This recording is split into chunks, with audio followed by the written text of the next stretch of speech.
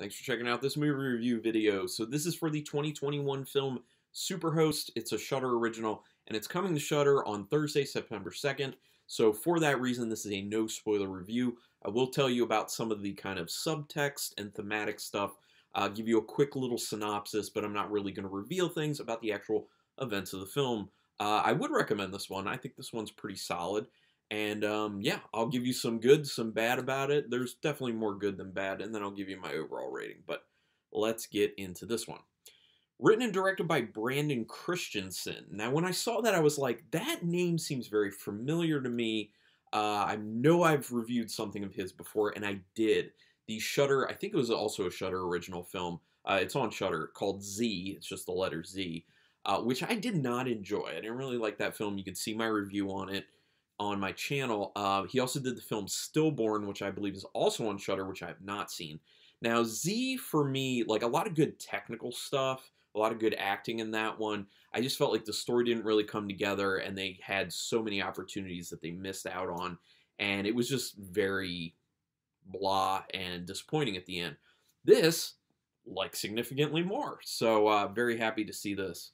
Uh, Barbara Crampton appears in this briefly. Um, well, not briefly, a little more than briefly, but it's always good to see Barbara Crampton. I am a fan. I love her. I follow her on Twitter because she's a very nice, positive voice in the horror community who's engaging in a positive manner on there, and she just seems super cool. Plus, she's a great actress, and she does a really nice job in this, even though she's not a huge part of it. Once again, Shudder Original coming Thursday, September 2nd. So, quick synopsis. It's basically about a couple who have their own YouTube channel, or you know, it's not called YouTube, but you know, it, it's of that ilk. You know, you know they're trying to get at being YouTube a YouTube channel. So something like a YouTube channel where they basically go around and kind of review things, uh, review basically Airbnb style situations. Uh, and they check into a new place that they're going to do a video on. They're actually having some struggles with their channel. Uh, so they really need to get some uh, good content and get a lot of views out of it. Uh, and then they meet the person who they've been interacting with, who's the person who runs the place, and um, things happen. That's all I'm going to give you because I don't want to give you too much. And like I said, just watch the film. It is worth watching. I did enjoy it enough. So immediately they make fun of YouTube videos, and I'm all about it because sometimes they are very much ridiculous. Uh, I do YouTube videos. I will tell you, within this film, they really show like that really fakey side of YouTube, and there's kind of a point about that that I'll talk about at the end as far as like thematic and subtext stuff goes. But I watch a good amount of YouTube. Uh, obviously, I have my channel. I try to be pretty transparent with things and very honest about things. Uh, who you see is basically who I am, except energy level wise. Like in in my day to day, if you just talk to me, like my energy level is not as much as it is on these videos because I'm trying to, you know, kind of create more excitement to engage people in, in a sense. But everything else about me is basically the same. But this show, or sorry, this movie the way they have the main character show shows you a lot of what is out there as far as YouTube goes, which is basically a lot of stuff that seems really fake and is way overacted and you can tell is very fake and um, yeah it makes you question like what is real with these people what is not real. And it's just like that disgusting like super saccharine um, fakiness and they nail it pretty well in this in my opinion, and do a good job of basically making fun of it and taking it to kind of an absurd level. So I like that kind of commentary on it. First, when I saw that that's what they were doing, I was like, oh man, is this going to kind of be like a uh, host movie? Which I don't know if that's why it was called Super Host, but if it was like the film Host, uh, so I was kind of like, ah, if they're kind of just like biting off Host and trying to, you know, ride the coattails of that, new style of filmmaking. I don't know if I'm going to be into it, but I think it is kind of inspired by that to a degree, but it's definitely is its own thing. I would definitely not say that they're really trying to bite off of Host at all. So it's its own thing.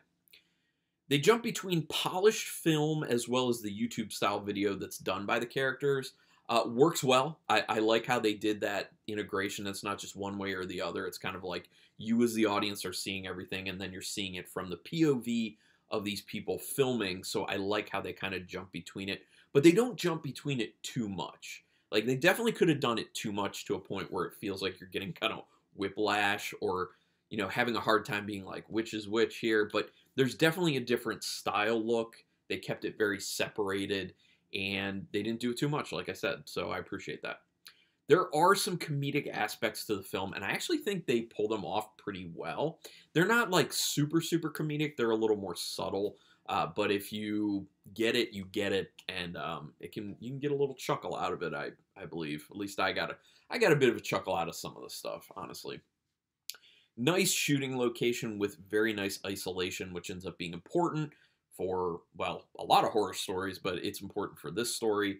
And they do explain some kind of techie type stuff uh, in a manner that they need to. They kind of do tie up and loose ends that they would need to take care of. So I like that. It does show that they really put some time. Well, Christensen really put some time into the script and went over it a few times. Maybe even had some other people look at it. So that's always appreciated. Good performances in this film, which does make a very big difference for a story like this. Stories like this hinge a lot on the performances you can get out of the actors. So overall, quite good. Uh, I want to give a shout out, though, in particular to Gracie Gillam, uh, who plays the character Rebecca.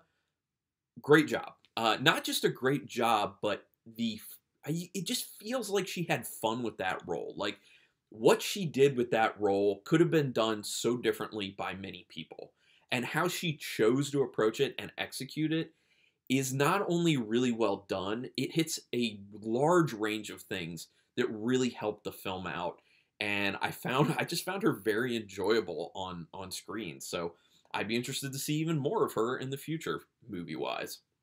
So nice job, Gracie Gillam. Really, really well done. I thought I knew which way the film was going to end up going, but I didn't ultimately. I I mean, like vague idea wise, I had an idea of where it was going and was right about that. But how things then unfold, I was not right about. So very glad for that. I always hate it when I go into a film and you know everyone watching can basically tell what's going to happen and it ends up being kind of like boring for that reason but this one it's good because you think it's going one way and it kind of is but there's there's enough that's different that you don't see coming that keeps you engaged and keeps it kind of interesting and fresh. So i appreciate that. They do go over the top with some of the music during the like scare moments in the film. That's something i i harp on because i do feel like you can really overdo music relatively easily uh, and it's the instances of, of, where you feel like the music is screaming at you when you don't need that. Like, we really don't need that. People are very apt to pick up on subtlety. I'm not saying that you have to have subtlety in this instance, but just, you know, turning the volume up to 11 is not necessary. And they do that a few times in this. And I just, it's a pet peeve. I don't like that. You watching this may not care about that stuff, and that's good. I'm just telling you my perspective on it solid finish to the film with a pretty good end scene. I did quite like the very last scene in the film. Uh, it does feel a little bit long runtime wise. Now, it's like an hour and 23 minutes with credits and everything, so the fact that it feels a little bit long is slightly problematic, but I'm not going to harp on that too much because overall, it's not that bad. It's just like here and there, it feels like it drags a little bit and like it's a little bit too long, but it's not too bad certainly not what I've experienced with a bunch of films recently. So, good job, Christensen. Uh, I'm going to repeat this. Gracie Gillam. If for nothing else, just watch this film for Gracie Gillam's performance. Just saying. There's an interesting point here about real life versus faked YouTube life and how that ends up becoming problematic. Now, it's how that ends up becoming problematic in a few different ways. So, I like that about it. I like that it takes this one idea, this one theme, this one bit of subtext, and doesn't come at it from one standpoint. It's kind of giving you numerous ideas of how that's a problem. So it's kind of making fun of it, but it's also making a poignant point about it at the same time. So I do like that. It really actually has something to say here, but it also does it in a very fun, playful way. Uh, there, this also delves into how odd stuff like Airbnb actually are and how that can go wrong. I mean, if you really think about it, something like Airbnb is super weird. Now, I covered that theme, subtext, whatever, with the my review of the film The Rental by Dave Franco, and I would I would recommend this definitely over The Rental because The Rental waste of time in my opinion. Like th- that one had a good concept, but then it feels like it wasn't really developed after that and it just falls very flat. This one you can tell actually worked out. You know, like good concept and then it went further with a developed script and everything. Dave Franco with the rental, not so much. But for some reason, people talked a lot about the rental, probably because of Dave Franco's name. Hopefully, people talk as much about this film, Superhost but I have a feeling they won't because Brandon Christensen isn't a household name, unfortunately. But I like it. Anyway, out of five stars with half stars in play, I'm going to give it a very solid three star rating. It is a good film. I would check it out for sure.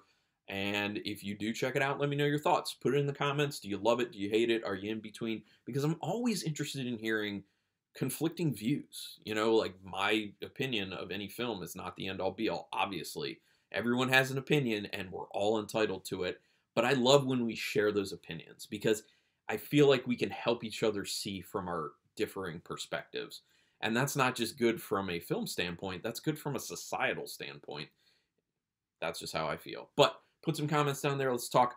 Do me a favor, hit subscribe. Uh, I'm over a thousand subscribers now, so that feels good but I'd love to just keep going for the reason of just kind of growing this community. Still, people who watch my videos, it's like 53% of people are not subscribed to my channel. So I would have a lot more subscribers at this point if people would subscribe if they're watching my videos. So I'd appreciate that. Also, just hit the um, sorry notification bell button and then that way you'll know whenever I'm putting up new videos, whether it's one of these no spoiler movie reviews or a in-depth spoiler-filled analysis review video or unboxing or opinion piece or any of that jazz. But regardless, I really thank you for taking your time to check this out. Until next time, keep it brutal.